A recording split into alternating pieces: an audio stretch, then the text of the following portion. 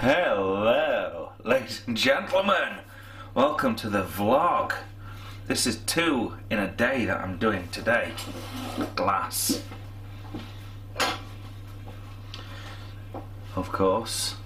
Robot Fermenter. Uh, Tortec Info. Actually, now he's changed his name on Instagram now, so I'm going to have to look it up on her and let you know what it is and uh, oh it's on the label should be on the label. Uh, system error comic.co.uk by Phil Chapman no less. System error comics is the guy who's done the artwork here. So uh, yeah you can grab these on harrisonsbrewery.com forward slash shop. And the reason why I'm doing a quick video now I've done a vlog today and I've come home and I've answered like two or three emails and you know what? They've got me really quite excited. So first things first there was a chap in I'm just looking on my emails now what I've sent back. Um, there was a young man a young man uh, where is he located? Uh, the, the, the there it is thebeerengine.co.uk there's a little uh, a little plug for him. So he messaged me asking some questions about the bottling process. And uh, well I've just emailed him back saying he wanted to call me. I haven't got time to call people on the phone. I hate talking on the phone. Quite an introvert believe it or not. Anyway I said look message me any questions that you've got. No problemo I'll answer them if I can. And uh, at the same time I've also been messaging uh, Chris at Raw Culture Limited I've got notes in Aberdeen the guy who sent the kombucha. And uh, he's obviously building a can machine as well or a bottle filling machine. I've just noticed the lights outside so Gemma's going to pull up at any minute so I'll probably I'll probably have to put a cut into that. I wanted to do this in one take. Anyway, Chris and I have been talking about a bottle filler. Um, so I suppose this is the perfect segue for me to throw in a couple of clips of video that I sent to him this afternoon. And we're talking about um, how to make the can filler fit into a bottle rather than a can. So we'll just roll these couple of clips now. Right, I've got a couple of ideas I thought you'd like the, the pink notepad. So my PRV uh, pressure relief counter pressure filler thing kind of had this uh, T-piece on the top and uh, one side went down into the tube like so. This side had like a dial out P, PRV on it, only small, and you'd set the pressure that you had in the bottle with that and then on this side it had kind of a two-way lever valve. You've probably seen them and you could change it for uh, either gas in or liquid in. So it essentially had another T-piece here for want of a better word. And then it had a bung. Obviously this is flexible pipe so that can bugger off to the side. And it had like a rubber bung uh, slotted into the bottle. Just like so. Of course the problem was every time you filled your bottle up uh, and you raised the fill head and stuck the whole assembly onto the next bottle when you changed the lever you know when you swung the lever across to let CO2 in any liquid that was left in this fill tube would splurge out at the bottom. And with beer that caused a lot of foam I don't think it'll be too much of an issue with kombucha because I think by the time the bottle has started to fill up with kombucha, I think the foam is light enough to have dissipated before it gets to the top. So uh, that's one option for counter pressure. I'll just stop this video so it's not too long and then I'll talk to you about another option that I'm thinking about for the sensor assembly going through with how we've got the can filler designed at the minute. So just doing this quickly on the fly, I was thinking if you had like a bung again at the top of your bottle, just like a, a rubber wine cork that you get in homebrew setup kind of things, and through that you send your fill rod down to the bottom, and then that runs off and uh, goes away to solenoid as per. And then for the sensor, you know, to make this small enough to fit through the top of a bottle in one shot, you could still use this single tube for um, gas and product. But then I was thinking just getting like a three millimeter welding rod, stainless steel welding rod, and just forcing it through here and then just having that just sat at the side of your fill tube. And again, like you said in your video, you could you could shrink wrap this section to protect you from any false triggering from any bubbles or you get like a meniscus on bubbles which can trigger it sometimes so that's probably a good idea. And then you could have that side by side and you could have your smallest like 8 millimeter tube and that could basically be sitting right next to the tube as close as you like. And then as soon as the liquid level comes up it triggers the assembly closes the valve and it lifts up. And like I say all you have to do is figure out how you want it to have the uh, CO2 input.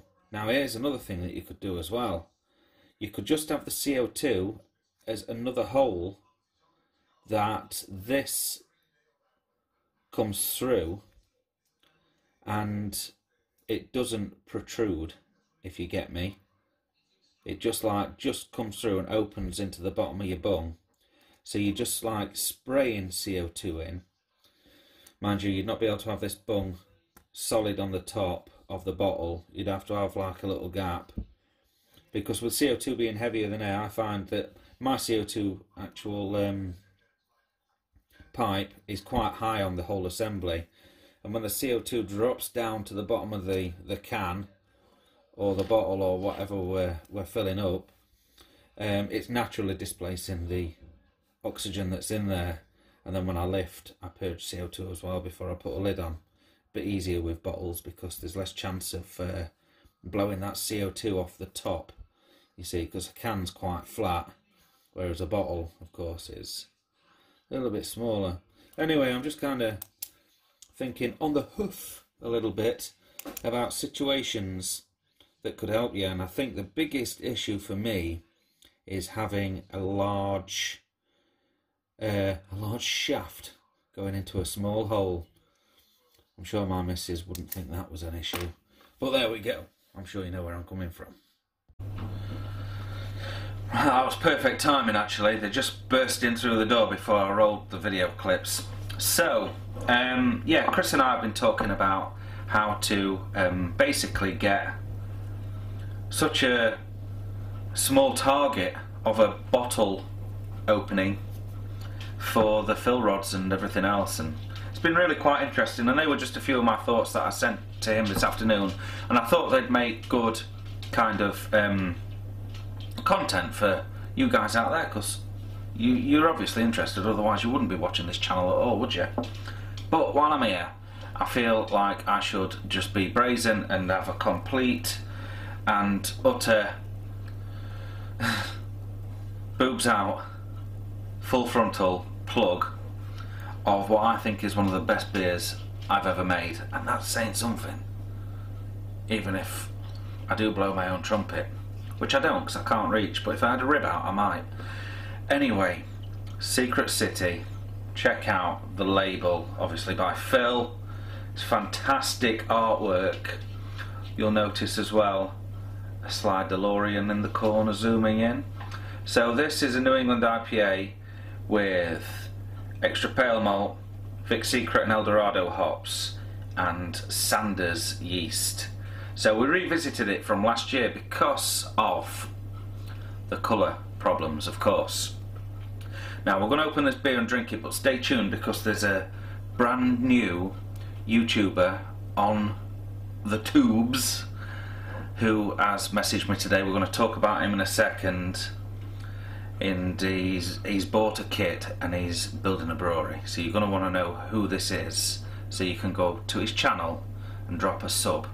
But I need a bit of motion lotion before we get there. So I'm not going to be cracking this can today. This is going to go back to work because uh, when I was labelling all these Secret City cans, I didn't order enough labels. We're about 75 labels short.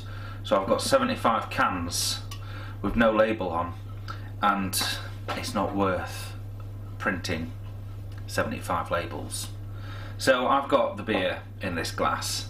So what we're going to do is we're going to get this into a Harrison's Brewery The Brew Shed robot fermenter glass. Now this New England IPA is available on the website and the recipe will be on there shortly. Don't pester me. You know, I'm busy. It'll be on there as quickly as I can get it on there, which ain't going to be far away. It's not going to be long.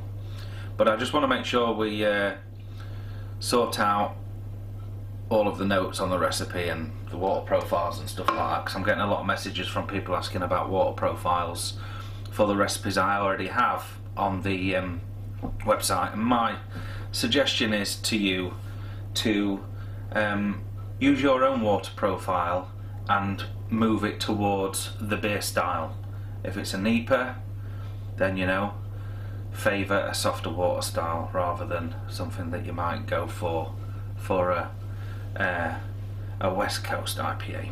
Anyway, so you may remember when we used the Sanders yeast last year, and indeed we had oxidation issues on canning, and I've discovered a couple of things which have helped me.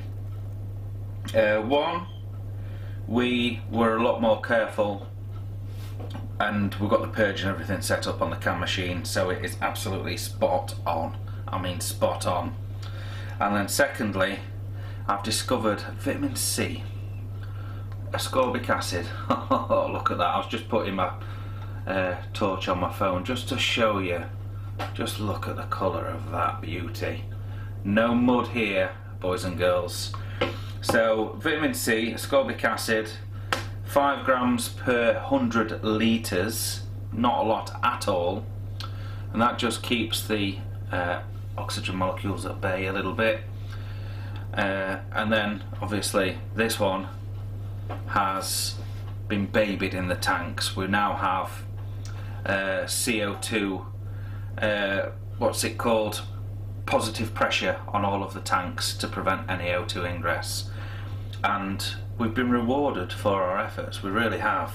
So this bad boy is rocking in at 6.5% New England IPA. I can't remember how many hops are in here, but I think we're close to 20 grams per litre. It's a monster.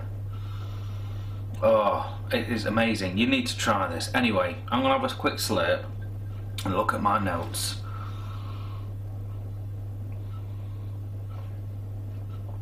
Oh, what a combination. What a combination. Vic Secret and Eldorado. I could only get a small amount of Vic Secret this year. And I thought I'd better use them up before they get a year on them because they're, they're, fresh as a daisy like. Mm. I'm glad I did. This is epic. I mean, I kid you not, boys and girls. Anyway, skates on. Don't want an half an hour long video. This was just meant to be five minutes. So, who is building a new brewery? Well, it's Andy from Four, Four Priests Brewery. And guess what? He's got a YouTube channel, so he's messaged me today. Well, he messaged me in the week, but sometimes it takes me a while to. I get like 500 messages a week.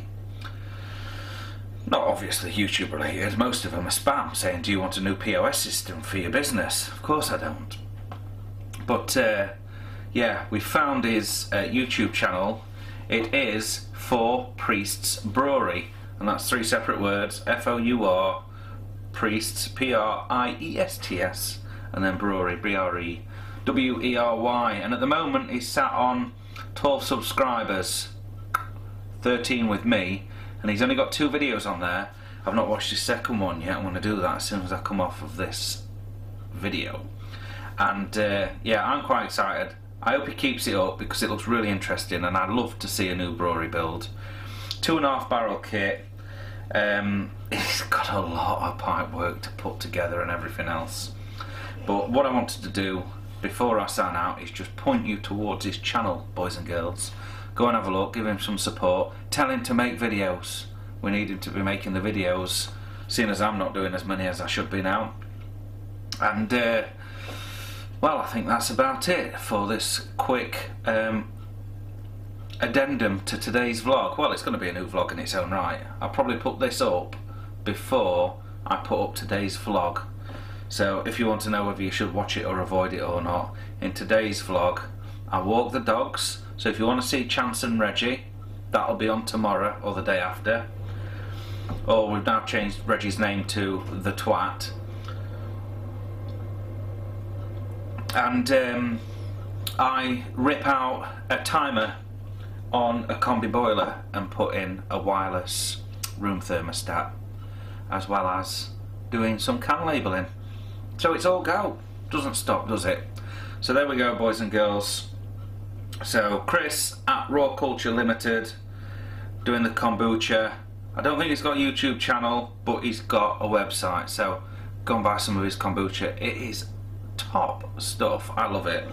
I don't drink a lot of it, but he did send me a box full, so I'm having like a can every week or so, and uh, it's really something that you could probably drink every day.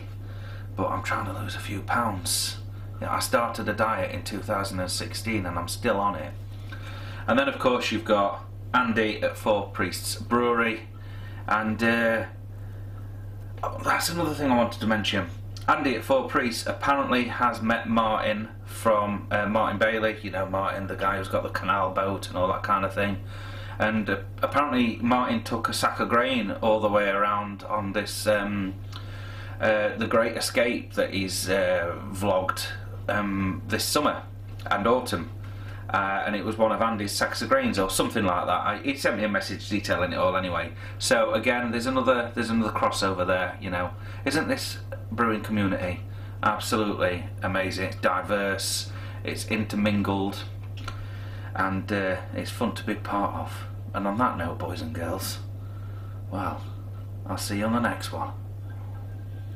Mm. Ah, cheers.